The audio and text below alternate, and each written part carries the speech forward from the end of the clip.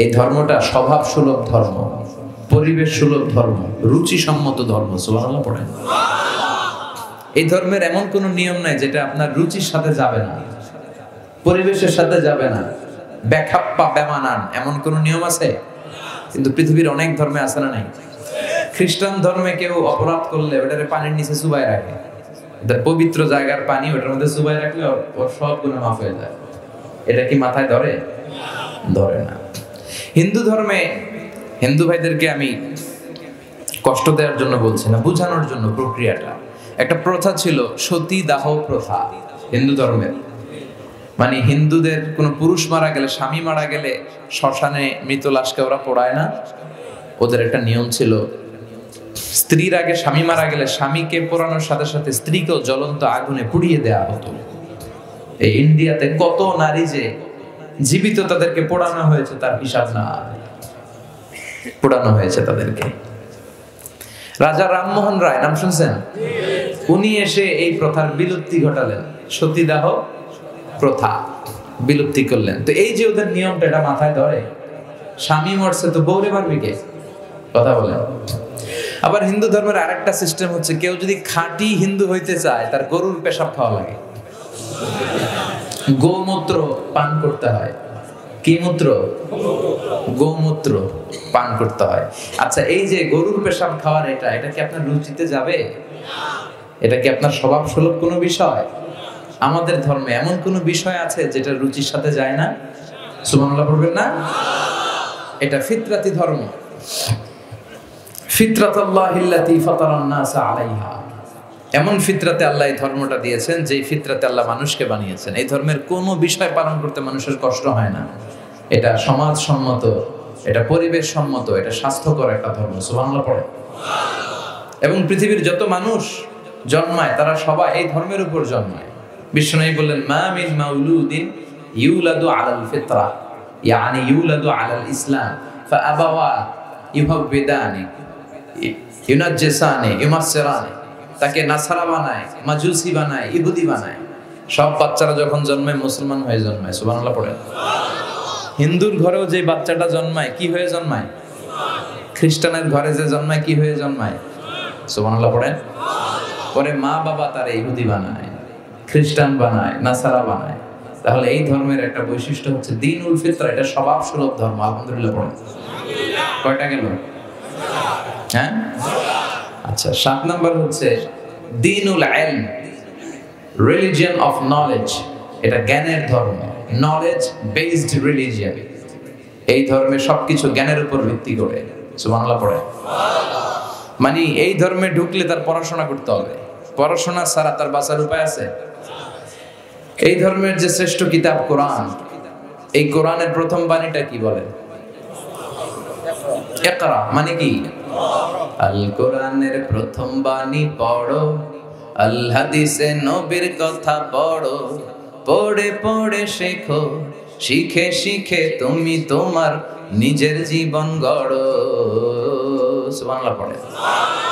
পড়ো, পড়ে পড়ে নিজের জীবন গড়ো। আমি তো বলি সব সময় পড়বেন। সুস্থ থাকলে পড়বেন, অসুস্থ হলে পড়বেন, গাড়িতে থাকলে পড়বেন, ঘরে থাকলে পড়বেন, মরার সময় পড়বেন। মরার সময় কি পড়বেন? লা ইলাহা মুহাম্মাদুর তার মানে পড়া ছাড়া কোনো উপায় আছে? তাহলে এই ধর্মের অনুসারীদেরকে পড়তে হয় স্টাডি করতে হয়, ঠিক কি না আর বিশ্বনবী বললেন, তলাবুল ইলমি ফারিদাতুন আলা কুল্লি মুসলিম ওয়া মুসলিমা। পড়া ধর্মীয় জ্ঞানার্জন করা সব মুসলিম নারী পুরুষের জন্য ফরজ করে দিয়েছে কে? দেখেন, জ্ঞানকে ইসলাম কত মর্যাদা দিয়েছে? কবরে তিনটা প্রশ্ন করা হবে, রব কে? ধর্ম কি? এই লোকের নাম কি? মোহাম্মদ সাল্লাল্লাহু তিনটা প্রশ্নের পরে আপনাদেরকে আরেকটা প্রশ্ন করা হবে। ওয়ামা ইলমু? What is the source of your knowledge তোমার এই জ্ঞানের উৎস কি? তুই কেমনে শিখলা? এই তিনটা প্রশ্নের উত্তর কেমনে জানলা? আপনাকে বলতে হবে, আমি কোরআন সুন্নার আলোকে জেনেছি। চিল্লায় বলেন, ঠিক কিনা? তাহলে পড়াশোনা ছাড়া কোনো উপায় আছে? ইলম। দিনুল ইলম বলে এটাকে, জ্ঞানের ধর্ম নলেজের ধর্ম। আপনাকে জ্ঞান অর্জন করতেই হবে। আবু দারদা রাদিয়াল্লাহু তাআলা একজন সাহাবী, উনি বলেছেন, কোন আলিমান। আলেম হও। কি হও? আও মোচা আল্লিমান অথবা আলেমের কাছে শিখো। আও মহিব্বান।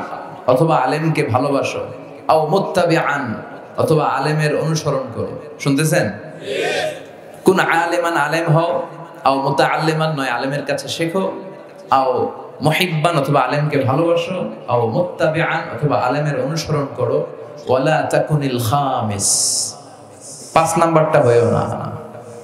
এই চারটা হও, পাঁচ নাম্বারটা হয়েও না। পাঁচ নাম্বারটা কি? আলেম বিদ্বেষী। ফাতাহালি আলেমের বিরুদ্ধে লাগলে, আলেমদের ব্যাপারে অন্তরে বিদ্বেষ রাখলে তোর দুনিয়াও শেষ, আখিরাতও শেষ, চিল্লায় বলেন, ঠিক কিনা? ওলা চাকুনিল খামিস, পাঁচ নাম্বারটা হয়েও না, ওই লাইনে যায়ও না, ওই লাইনে গেলে সব শেষ। তাহলে এল অর্জনের দরকার আছে না নাই? আমাদের ধর্ম, এটা জ্ঞানের ধর্ম, আলহামদুলিল্লাহ পড়ো। কয়টা গেল? হ্যাঁ? আট নাম্বার হচ্ছে দিন সালাম। আমাদের ধর্মটা হচ্ছে দ্য রিলিজন অফ পিস শান্তির ধর্ম। সোমান লাগবেন না? এজন্য শান্তির বার্তা পৌঁছানোকে এই ধর্মের গ্রিটিংস অভিবাদন পদ্ধতি বানিয়ে দেওয়া হয়েছে। সালাম। কারোর সাথে দেখা হইলে কি করতে হয়? সালাম দাও। সাইদিন আদম আলাহ ইসলামকে আল্লাহ যখন তৈরি করলেন, আল্লাহ বললেন, আদম, তুমি সালাম দাও। সুবাহ আল্লাহ পড়েন তাহলে সালাম দিতে হয়। শান্তি। ইসলাম কখনো অশান্তিকে প্রশ্রয় দেয় না। ইসলাম চায় ঘরে, বাইরে, রাষ্ট্রে, সব জায়গায় কি থাকুক? শান্তি। আর আমরাও কি চাই? এই পৃথিবীর সব মানুষ একটা জিনিস চায়, সেটা কি? মানুষ হচ্ছে শান্তির কাঙ্গাল শান্তির ভিখারি। শান্তি চায় মানুষ। আর শান্তি আছে কোথায়? ইসলামে। চিল্লায় বলেন, শান্তি আছে কোথায়? এবং বিষ্ণুনবী যখন রাজা বাদশাদের কাছে চিঠি লিখে পাঠাতেন মোকাউকেসের কাছে পাঠিয়েছেন, আসহামার কাছে পাঠিয়েছেন, নাজ্জাসির বাদশাহ, হিরাক্লিয়াসের কাছে পাঠিয়েছেন, রোমের বাদশাহ চিঠি যখন বাদশাদের কাছে লিখে পাঠাতেন, বিশ্বনবী লিখতেন, প্রথম শব্দটা বিশ্বনবীর চিঠির অংশ এখনও পাওয়া যায়। এটা তুরস্কের একটা জাদুঘরে, মিউজিয়ামে এখনও আছে, বিশ্বনবীর জামা, দাড়ি মোবারক, পাগড়ি মোবারক, বিশ্বনবীর ব্যবহার করা হ্যান্ডস্টিক হাতের লাঠি, বিশ্বনবীর চিঠি। এবং যেই কোরআন পড়া অবস্থায় সেদিন ওসমান দুল্নুরাইন শহীদ হয়েছেন ওখানে ওনাকে যখন আঘাত করা হয়েছে, উনি শহীদ হলেন, ওনার রক্ত এই কোরআনের মধ্যে লাগে। আমি নিজেই কোরআনটা দেখেছি। ওখানে সংরক্ষিত আছে। বাংলাদেশের জাতীয় জাদুঘরে সাত দিনের জন্য আনা হয়েছিল, আজ থেকে অনেক আগে। আমরা যে দেখে এসেছিলাম। তো বিশ্বনবীর এই চিঠি আজও সংরক্ষিত আছে। তিনি যখন কারও কাছে চিঠি লিখতেন, চিঠির প্রথম শব্দ ছিল সালাম। চিঠির প্রথম শব্দ ছিল কি? সালাম। তিনি লিখতেন, সালামুন আলা মানিত্তাবা আল হুদা। শান্তি তার উপর যে হেদায়ত পছন্দ করে।